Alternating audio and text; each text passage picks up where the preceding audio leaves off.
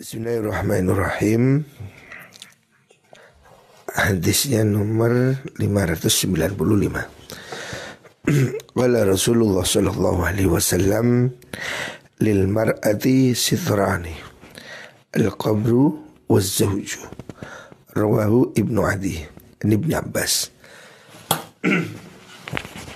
Rasulullah sallallahu alaihi wasallam bersabda lil mar'ati iku kedue wong wadon sitroni utawi aling-aling luru. Wanita itu mempunyai dua penutup rupane al qabru kuburan wazauju lan bojo Nabi menyatakan bahwa perempuan itu ditutup oleh dua hal yaitu kalau dia mati ditutup oleh kuburnya kalau dia masih hidup dia ditutup dalam arti dilindungi oleh suaminya. Rawahu Ibnu Adi an Ibnu Abbas. Selanjutnya Rasulullah Shallallahu Alaihi Wasallam bersabda, lil muslimi alal muslimi situn bil ma'ruf. Lil muslimi ikut tetap ketui wong Islam alal muslimi ing wong Islam kang liya orang sesama muslim itu ada hak ya, ada kewajiban. Diingatkan oleh kanjeng Nabi ada enam hal ya yang menjadi kewajiban setiap orang Islam bagi umat Islam yang lain. Ya. Lil muslimi alal muslimi situn utai perkara enam bil ma'rufi kalau ada enam hal yang harus dia lakukan secara baik ya. Yang pertama yusallimu alaihi idza laqiyahu. Yusallimu uluk salam sopo muslim alaihi ing atase muslim kang liya idza laqiyahu nalikane tetemu sopo muslim hu ing mengkono-mengkono muslim. Maksudnya kalau ketemu sesama muslim harus dia saling tegur sapa ya. Orang muslim bertemu orang muslim Harus saling menyapa. Jangan tidak peduli ya. Jangan sampai orang muslim Menolak Untuk menyapa orang yang lain ya. Orang muslim ini harus rukun dengan sesamanya Artinya dia tidak boleh tidak peduli pada orang lain ya. Orang muslim ini harus saling rukun. Makanya Nabi mengingatkan yang pertama kewajiban orang muslim pada orang muslim yang lain harus dia mengucapkan salamnya. Ini hukumnya sunnah dan menjawabnya hukumnya wajib ya. Kalau mengucapkan salamnya sunnah. Orang muslim mengucapkan salam ketemu siapa pun lebih besar atau lebih kecil ucapkan salam ya. itu sunnah. Menjawabnya wajib ya. Wa idza hayyitum bi fahayyu bi ahsana minha aw ya. jadi ini kewajiban orang muslim. Kalau ketemu ucapkan salam. Sapaan khas umat Islam salam Jangan bertemu orang Islam tidak mengucap salam. Ya, hilunya kita ini ya salam. Assalamualaikum, assalamualaikum. Biasakan. Dalam hadis lain Rasulullah Shallallahu Alaihi Wasallam memerintahkan afsus salam, masyurkan salam. Hendaknya salam itu digelorakan di mana pun ketemu siapa pun sesama muslim ucapkan salam ya Nabi memerintahkan kita saling mengucap salam. Ini kan simbol perdamaian. Umat Islam harus rukun ya. Salam itu kan ucapan damai. Assalam itu kan keselamatan, kedamaian. Alaikum, semoga tetap untukmu ya. Orang muslim harus menebar kedamaian ya. Makanya ketemu sesama muslim ucapkan salam. Kenal tidak kenal, kopral dan jenderal ucapkan salam ya muslim bersaudara ya.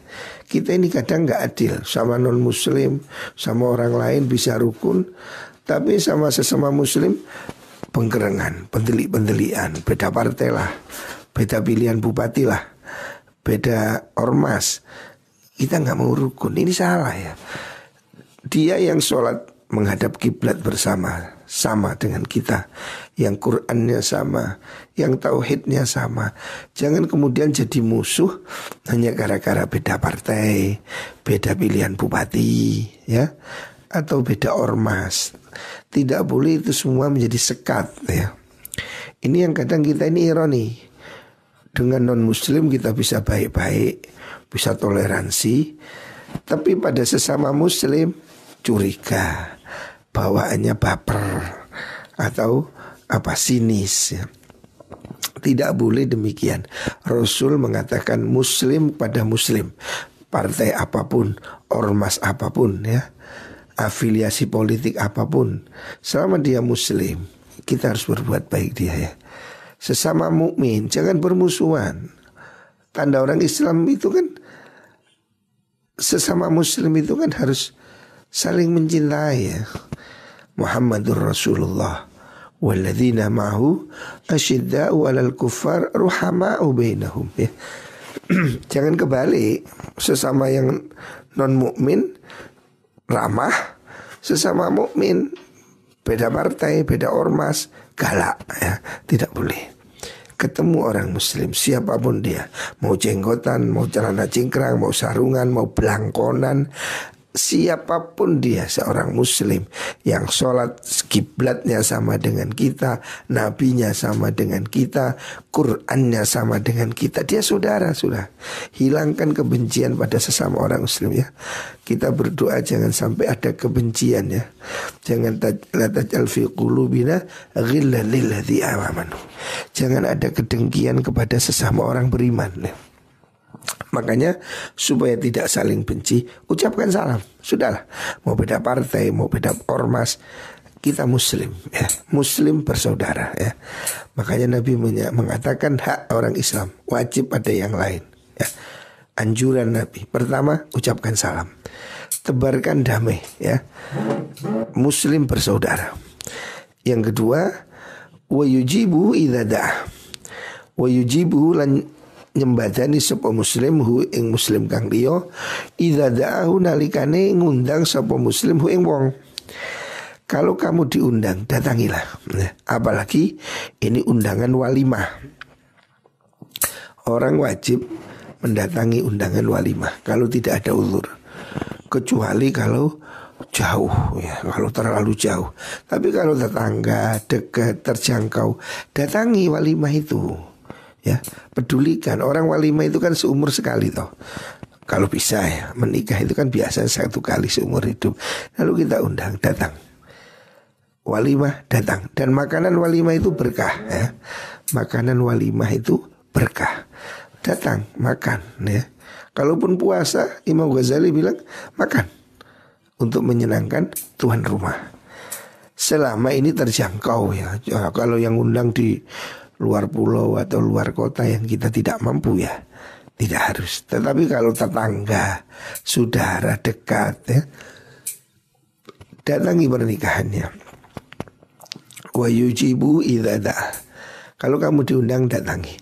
Kalau kamu dipanggil noleh. Nabi itu dipanggil anak kecil aja noleh kok.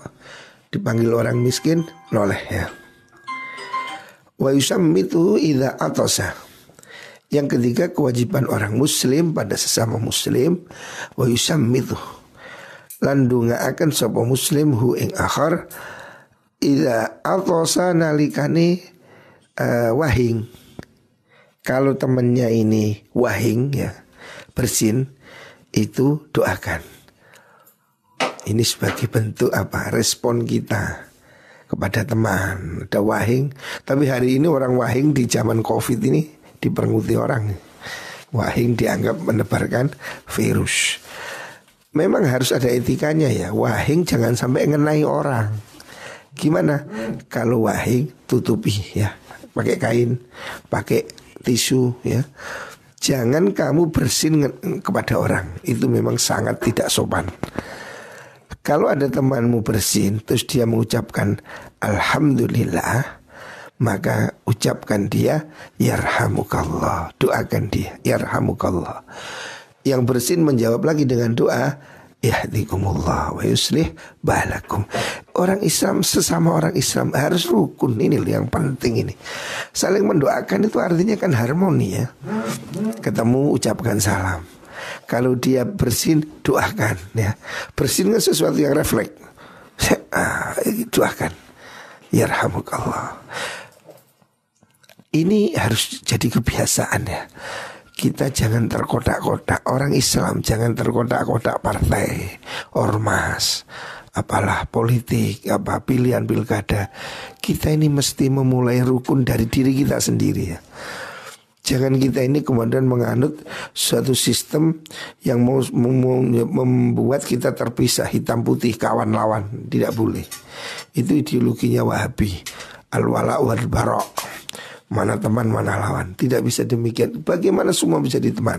Ya, bagaimana kita mengembangkan kedamaian dengan orang yang berbeda dengan kita. Walaupun kita mungkin tidak tidak tidak sependapat ya, tapi kita mesti bisa ketemu ya. Sesama Muslim kenapa tidak bisa ketemu? Saya bisa sholat di belakang orang beda ormas ya. Saya NU, ada orang Muhammadiyah, saya makmum dan saya merasa itu baik-baik aja. Tidak apa-apa kan? Kita di Saudi Arabia makmum sama orang Wahabi ya. Padahal Wahabi itu kan jahat ya deh, dalam tanda kutip ya. Dia ini bid'ah, ini haram, kita ini mau ini musyrik, ini apa. Tapi kita kan di Masjidil Haram ya sholat sama mereka. Mana pernah kita bikin sholat sendiri ya. Walaupun mereka ideologi fahamnya tidak sama dengan kita. Tetapi dia sholat dengan kiblat yang sama. Bertuhan pada Tuhan yang sama. Dia bertauhid. Walaupun dia dalam satu hal mungkin agak jengkelkan sama kita kan. Mereka mengira kita orang NU ini nyembah kuburan. Nah, mereka itu menganggap kita ini apa penyembah kuburan. Padahal kapan sih kita nyembah kuburan? Tidak ada lah. Sak goblok-gobloknya orang Islam yang datang ke Ampel, ke Wali Songo, tanyain dia, Tuhanmu siapa? Dia pasti menjawab Tuhannya Gusti Allah. Tidak mungkin ada orang Muslim kok mendoa mohon pada Sunan Ampel tidak mungkin. Sak budu-budunya. Kalaupun ada, ya luruskan.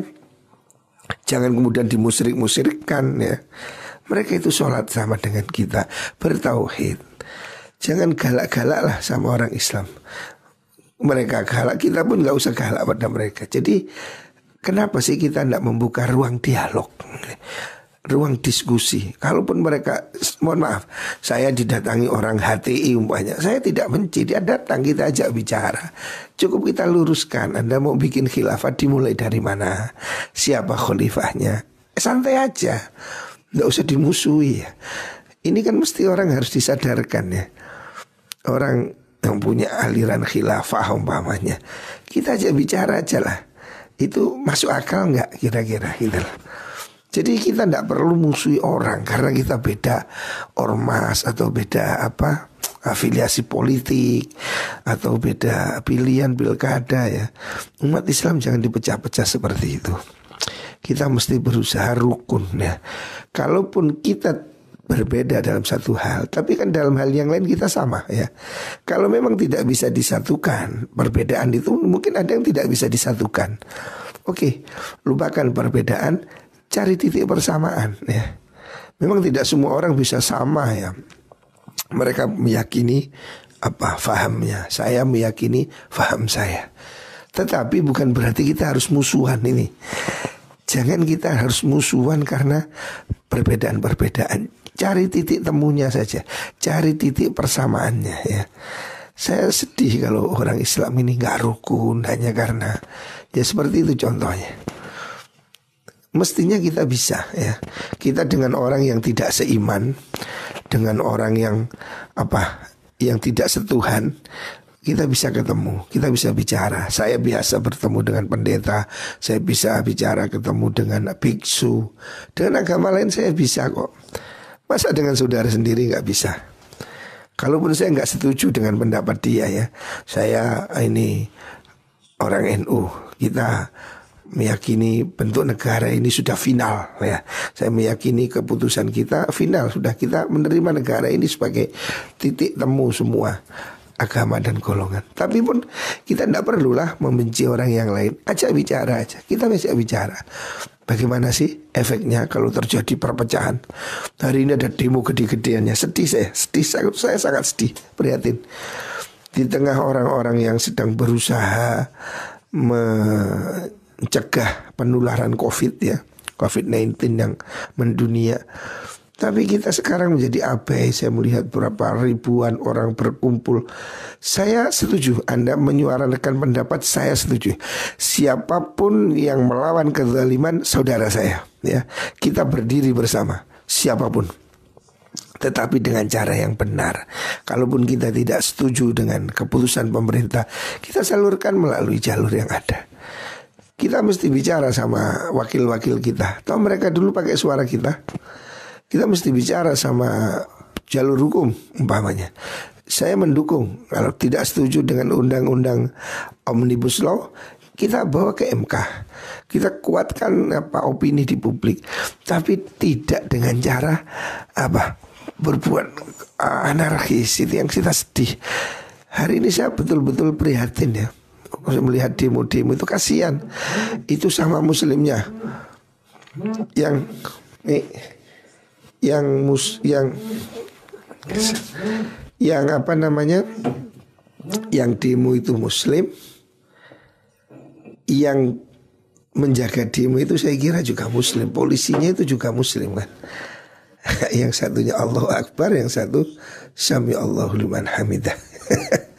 Jadi mereka itu sebetulnya sama-sama muslim ya. Kasihan saya itu sebetul-betul kasihan. Yang di lapangan itu kasihan saya mendukung kebebasan menyatakan pendapat saya sangat mendukung ya. Kita mesti sampaikan kebenaran. Ada apa kezoliman kita melawan ya. Tetapi dengan cara yang baik ya. Saya setuju kok apa itu uh, aspirasi itu harus didengar. Iya, saya sangat setuju saya uh, menyukai kebebasan berpendapat. Saya tidak setuju pihak mana pun menekan pihak mana pun. Saya menolak kekerasan oleh siapa pun kepada siapa pun ya. Tetapi ayo kita gunakan saluran yang benar ya. Hari ini kita ini kan sedih kalau sampai setelah hari ini kemudian terjadi apa namanya uh, peningkatan jumlah kasus Ait, ah, apa kasus ini? Covid ya. Ini kita kan akan sangat bersedih. Kita akan sangat susah Kalau kemudian ini menimbulkan efek penyakit yang luar biasa. Saya kira DPR harus mendengar ya. DPR itu kan dipilih oleh rakyat ya. Mereka wakil rakyat. Jangan budeknya oh, Ini harus didengar. Mereka bersuara harus didengar ya. Tidak boleh ya pemerintah kemudian mengabaikan suara rakyat. Mereka dipilih oleh rakyat. Saya sangat setuju. Apa yang kurang benar kita bicarakan. Tapi jangan dengan cara kekerasan. Ini tidak boleh. Saya ini eman. Dulu tahun 82 kira-kira ada kasus Tanjung Priuk. Ya. Itu kan terjadi kekerasan di mana ada demo yang ditembak oleh aparat dan menimbulkan korban jiwa. Umat Islam marah. Saya waktu itu masih kecil beberapa orang datang menemui ayah saya mengajak pemberontakan, mengajak mengangkat senjata. Apa kata ayah saya? Ayah saya bilang saya tidak mau melawan pemerintah selama dia tidak melarang saya sholat kata ayah saya. Kalau masjid tidak ditutup, kalau pondok tidak ditutup, saya tidak mau melawan. Tetapi kalau pemerintah menutup masjid kata ayah saya, saya akan angkat senjata. Dan ayah saya mengutip uh, satu ucapan Sayyidina Ali Sultanul zulum khairun min fitnatin tadum. Pemerintahan yang brengsek Pemerintahan yang jelek Itu lebih baik daripada perang kata saya. Kalau perang kita tidak bisa apa-apa. Lihat Suriah Lihat Libya. Perang hanya menimbulkan penderitaan. Orang sekarang di melawan pemerintah. Yang terjadi apa? Chaos kan mereka punya senjata, rakyat tidak punya apa. Kalau mereka ditembak, siapa korbannya? Rakyat lagi ya. Kita tidak ingin terjadi pertumpahan darah karena perang itu akan membuat penderitaan yang panjang. tidak bisa kerja, tidak bisa ibadah, tidak bisa sekolah, rumah sakit tutup ya. Hindari kekacauan. Pemerintahan yang bangsat kata ya saya saat itu. Pemerintahan yang brengsek itu lebih baik daripada perang ya. Kita harus menghindari opsi perang, opsi chaos harus dihindari. Kecuali kalau kita sudah ditekan sehingga kita tidak diberi kebebasan beragama. Kalau ini kata yang saya melawan. Kalau pesantren ini ditutup kata yang saya, saya angkat senjata. Kalau masjid ditutup saya angkat senjata. Tapi kalau pesantren jalan, masjid masih dibebaskan, udahlah makan kata ya saya. Mereka yang mau rakus, mau kakain, makan aja. Kita Toh mereka tidak akan hidup selamanya. Rezim pasti tumbang. Sekuat apa rezim Fir'aun? Tumbang juga ya. Tidak ada kekuatan abadi di dunia ini. Akan tetapi Jangan kita melakukan upaya kekerasan ya. Jangan melakukan upaya melawan pemerintah yang sah. Itu tidak boleh tetapi melakukan kritik pada pemerintah itu boleh. Bahkan Rasulullah Shallallahu Alaihi Wasallam mengatakan jihad yang terbaik ya, afdolul jihad, kalimatu hakin indah sultanin jair. Jihad terbaik itu menyampaikan kebenaran kepada pemimpin yang apa itu curang, ada pemimpin yang zalim. Itu jihad jihad yang terbesar. Tapi tidak harus dengan demo. ini loh masalahnya caranya aja. Oke, saya setuju. Katakan pada Pak Jokowi, tolong Pak jangan lakukan ini. Oke, saya setuju. Katakan pada Ketua DPR, Anda harus dengar suara kita. Saya setuju. Tapi saya kurang setuju dengan apa anarkisnya. Ya. Kalau adik-adik kita ini ya apa sampai bentrok dengan aparat, terjadi korban, naudzubillah, apalagi ada yang kena tembak. Ini kan bahaya sekali kalau seandainya ada satu dua penyusup menembak mereka, apa yang terjadi? Ini akan terjadi pembakaran, chaos ya, naudzubillah ya. Kita tetap ingin hidup aman ya. Kita ingin situasi aman. Sampaikan kebenaran pada pemerintah itu jihad. Betul, saya setuju. Tetapi dengan cara yang benar ya. Ayo DPR panggil. Kalau Anda dulu milih partai A, panggil dia. Anda dulu saya pilih. Dengarkan suara saya. Saya mau ini. Saya setuju PBNU mendorong judicial review. Oke. Okay. Dan kita punya anak-anak di partai. Dengarkan suara itu. Jangan datang ke kiai kalau hanya pemilu ya. Seperti ini dengarkan suara kiai, dengarkan suara ormas ya. Jangan kalau mengatasi radikalisme cari NU. Tapi kalau soal sosial di aja, nggak bisa dong. Anda harus adil. Kita bersama bangun negeri ini. Kita melawan radikalis, kita melawan melawan intoleran.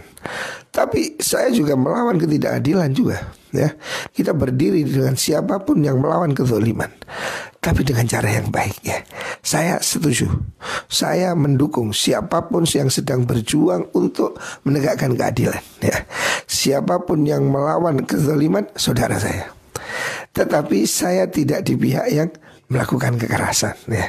Saya setuju suara itu sampaikan pada DPR, sampaikan pada Pak Presiden ya, siapa pun dengar suara rakyat ya. Ya mungkin ada dialog ya. Kita tidak bisa mengklaim kita paling benar Atau pemerintah mesti salah ya. Enggak saya kira kita masing-masing punya kekurangan. Kita masing-masing mungkin ya. Ada yang kita tidak mendengar secara utuh. Makanya saya menyarankan uh, demo-demo ini cukuplah jadi introspeksi. Hendaknya dewan mendengar suara rakyat, ajak mereka bicara, turunkan mereka ke daerah, dengar aspirasi, kemudian dibahas ya. Jangan berpihak pada kezaliman ya. Ini penting. Selanjutnya wa yaudu maridha kewajiban atau hak orang Islam pada orang Islam itu wa yaudu lan nyambangi sapa wong hu ing akhir idza maridho nalikane loro. Kalau teman sakit, walaupun sakit flu apa itu pusing atau demam datangi ya. Sampai hari ini gara-gara covid ini kita masya Allah menjadi renggang ya. Bahkan wadul sama saya nyari tukang mandikan jenazah hari ini sulit takut covid sampai kiai itu loh harus turun tangan mandikan jenazah tetangga Pak Mudinnya nggak mau tetangganya takut Ini kasihan ya. Ini kewajiban ya. Kalau orang sakit jenguk, sekarang kita ini kan takut covid, covid, covid ya. Ya kan bisa pakai standar kesehatan ya. Wayat bau jenazah lau mata. Ini hak orang Islam. Wayat baulan ngiringi sebuah jenazah tahu yang jenazah muslim idza mata nalikane mati. Kalau ada orang mati datangi jenazahnya, antar sampai ke kuburan ya. Mandikan, sholatkan Ini kewajiban Tapi hari ini gara-gara covid ini kan susah. Saya berkali-kali juga saya sendiri jujur aja juga begitu. Kapan hari saya mau takziah. Banyak polisi yang nggak jadi karena ini protokol covid katanya. Ya, ya kita jadi ketakutan. Tapi saya pikir uh, ini kalau bisa ya harus di harus diminimalisir ya. Ya saya setuju kemarin Pak Muldoko. Pak Muldoko bilang jangan apa namanya dikofitkan ya Jangan ada orang sehat yang di covid kan Artinya jangan semua orang mati itu terus kemudian mesti covid itu yang saya kan harus dipilah-pilah. Ada yang mungkin positif, ada kan tapi ada yang sebetulnya saya kira ya beberapa kasus yang saya dengar dan saya lihat itu sebetulnya ya ya mungkin ya kalau diduga semua orang bisa diduga ya. Tapi saya mohon jangan mudah menstigma COVID ya. Kasihan keluarganya. Kan dengan begitu orang itu di protokol COVID Itu keluarganya kan bisa dikucilkan orang. Makanya saya berharap Ya jangan semua mudah menuduh COVID. Harus ada parameter yang jelas. Jangan sampai orang ini menjadi korban kezoliman COVID ya. Orang sakit kebakaran di COVID Orang mati kecelakaan di COVID. Nah ini kan tidak boleh. Tolong kasih kejelasan yang COVID yang sebenarnya dan saya sependapat ya sama teman saya Dokter Edi Kepala forensik di Rumah Sakit Sutomo Surabaya. Orang sudah mati itu kan sudah nggak wahing nggak bersin Kan sudah tidak menularkan Kan dia sudah dikafani, dibungkus. Kenapa kok masih harus protokol yang sedemikian ketat? Logikanya orang sudah mati itu kan sudah tidak menularkan. Dia sudah ditutup Jenazahnya juga sudah di plastik ya sudah di kotak lagi. Tapi kasihan ya, sampai tidak ada yang nyolati, langsung dikirim ke kuburan. Kok ya berhentilah sejenak disolati di masjid atau di mana ya. Yang yang saya kira jangan berlebihan, waspada. Ya, setuju, setuju saya, setuju protokol kesehatan. Iya, tetapi tolong jangan paranoid ya. Nunggu mati kok sih perlakukan yang sedemikian terlalu ketat menurut saya. Ya protokol kesehatan yang wajar lah. Tidak harus seperti itulah. Tidak harus orang tuh sembunyi-sembunyi di kubur. Berilah dia haknya sebagai muslim. Kita sholati. Kita kasih penghormatan ya. Ini hak orang Islam. Kalau mati harus dimandikan, disolati ya. Dikafani. Kalaupun dikubur di dalam peti boleh. Tapi harus hadap kiblat ya. Jangan sampai dia itu dikubur melumah ya. Ini kasihan ya ini harus kita wajib ya untuk mengingatkan. Kita ini orang muslim punya hak ya. Hak dia sebagai orang muslim. Jangan kemudian covid ini membuat banyak aturan menjadi ruwet ya.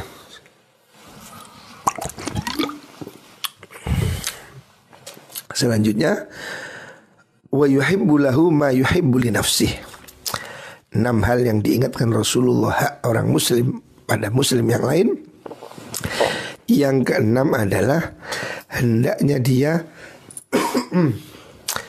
menyukai untuk orang lain apa yang dia sukai untuk dirinya.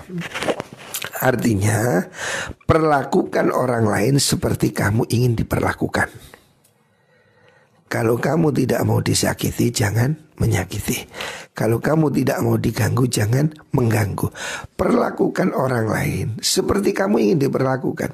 Kita ini kan juga kepingin mendapat perlakuan yang baik maka lakukan orang lain seperti kamu memperlakukan dirimu sendiri. Ukuran, kalau kamu diginikan seneng nggak? Kalau saya dimaki seneng nggak? Kalau tidak seneng, jangan maki orang. Kalau kamu tidak mau di apa sakiti, jangan sakiti orang. Ukur terhadap dirimu sendiri ya, jangan semaunya. Manusia ini harus punya apa? Harus punya perasaan ya kamu digitukan mau nggak sih gitu lah Ini aturan emas. Ini apa namanya golden rule. Ini aturan emas di semua negara, di semua bangsa, di semua agama. Kalau Anda mau dihormati, hormati orang lain. Perlakukan orang lain seperti kamu ingin diperlakukan. Ini aturan emas yang berlaku di seluruh dunia ya. Dawuhnya kanjeng Nabi ini diamini oleh semua orang. Saya pernah pergi Amerika, mereka juga percaya itu. Dan saya melihat uh, di waktu saya di mana itu sekitar di Oregon ingat saya itu ditulis di sebuah apa itu prasasti jadi ungkapan-ungkapan bijak termasuk ungkapan dari Nabi Muhammad SAW perlakukan orang lain seperti kamu ingin diperlakukan itu golden rule ya itu aturan emas semua agama semua negara semua suku meyakini itu itu yang aturan yang ditaruh oleh Nabi 14 abad yang lalu dan berlaku sampai hari ini dan sampai kapan pun. Perlakukan orang lain seperti kamu ingin diperlakukan. Jangan melakukan sesuatu yang menyakiti orang lain. Seperti kamu tidak suka diperlakukan, kamu jangan lakukan pada orang lain. Ya, kita ini harus punya kepedulian pada orang lain. Ya, keramahan, perhatian ya. Kamu kan nggak mau dicuekin, ya jangan cuekin orang loh. Kamu kan nggak mau di apa namanya disakitin, jangan sakiti orang. Ukur pada dirimu sendiri ya. Pantas nggak kalau itu dilakukan pada kamu ya. Semuanya kamu diperlakukan begitu seneng nggak? Nah, rela nggak? Kalau kamu nggak rela, jangan lakukan pada orang ya. Ini cita rasa kesopanan ya apalagi ucapannya. Ucapan itu seperti baju, harus dicoba dulu. Pantas nggak sih? Kamu kan nggak mungkin datang ke pesta dengan baju amburadul. Kamu mesti ngaca dulu kan, baju ini cocok nggak? Seperti itu ucapan.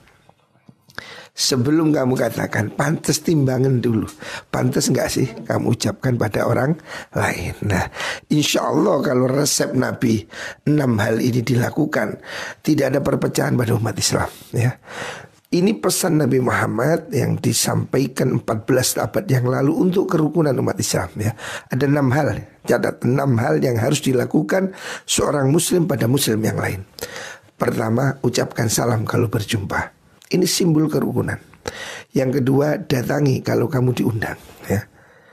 Jangan pilih-pilih yang kaya didatangi, yang miskin enggak. Jangan, kamu jahat. Miskin kaya siapa pun yang mengundang, datangi. Yang ketiga, doakan kalau dia bersin, ya. Simpati kita. Orang bersin itu mungkin sedang apa? Eh, doakan, ya. Dan dia doakan, ya. Saling mendoakan. Yang keempat, kalau sakit jenguklah dia. Walaupun sakitnya nggak terlalu kritis, nggak harus nunggu di ICU ya. Tetanggamu sakit, ah, mungkin pening, mungkin itu apa? Greges, gak duit-duit ya karena PSBB ini foto sambat bareng-bareng jadi semuanya nggak punya ya mungkin dia agak pusing karena nggak punya duit datangi dia yang kelima ikuti jenazahnya kalau dia mati datangi takziah antar sampai kuburan ya kalaupun covid ya dengan protokol covid yang terakhir cintai untuk dia apa yang kamu cintai untuk dirimu Artinya perlakukan dia seperti kamu memperlakukan dirimu sendiri. Insya Allah kalau ini dilakukan tidak ada perpecahan di kalangan umat Islam. Dan semoga Allah menyatukan semua hati umat Islam. Bersatulah umat Islam. Jangan berpecah belah, jangan saling membenci ya. Ini pesan dari Nabi Muhammad SAW. Semoga semua kita diberi kerukunan ya, hati yang senang dengan sesama saudara-saudara seiman dan kita akan berkumpul semua di surga. Amin Allahumma amin.